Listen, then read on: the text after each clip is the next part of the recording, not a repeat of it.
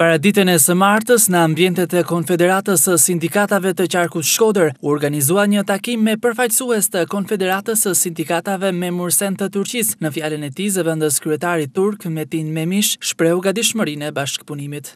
Neve sot do të firmosim një, domethënë një marrëveshje bashkëpunimi dypalëshe dhe aty do të diskutojmë domethënë edhe që se si do të bashkëpunojmë bashkë, cilat janë ato praktika që janë të sukseshme në Turqi dhe mund t'i aplikojmë këtu, domethënë për të rritur cilësinë e sektorit ose stafit të shëndetësisë. Këto janë gjëra që duhet, domethënë, të ulemi dhe t'i bisedojmë, sepse dhe sot është dita e dytë që jemi këtu, domethënë, duhet që t'i njofim pak ma afër, domethënë, do ftojmë uh, dhe delegacionin në, në Turqi për të parë, domethënë, se çfarë uh, se çfarë bëjmë atje neve te Konfederata e Memursenit, edhe këto domethënë do të shikojmë, në përgjithësi do japim rëndësi trajnimeve dypalëshe domethënë, reciproke. I pranishëm në këtë takim ishte edhe kryetari i Konfederatës së Sindikatave Shqiptare, Kol Nikolaj, ai shprehet se bashkëpunimi me turqit pritet të jetë i frytshëm, sidomos në shëndetësi. Konfederata e Sindikatave të Shqipërisë, ju e dini tashmë që është një organizatë demokratike e hapur, e cila bashkëpunon me të gjitha sindikatat qoftë ato europiane, euroaziatike dhe matanë Atlantikut. Sigurisht në kuadër të këtij bashkëpunimi, ne kemi një bashkëpunim mjaft të frutshëm dhe të hershëm dhe me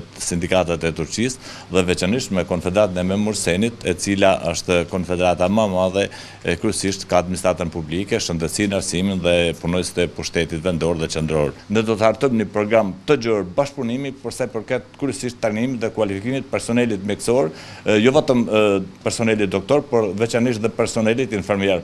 Ky është takimi i dytë që kryhet me homologët turq. Pritet që në vazhdim bashkëpunimi mes dy vendeve dhe konfederatave të jetë më i frytshëm në shëndetësi, por edhe në sektorë të tjerë.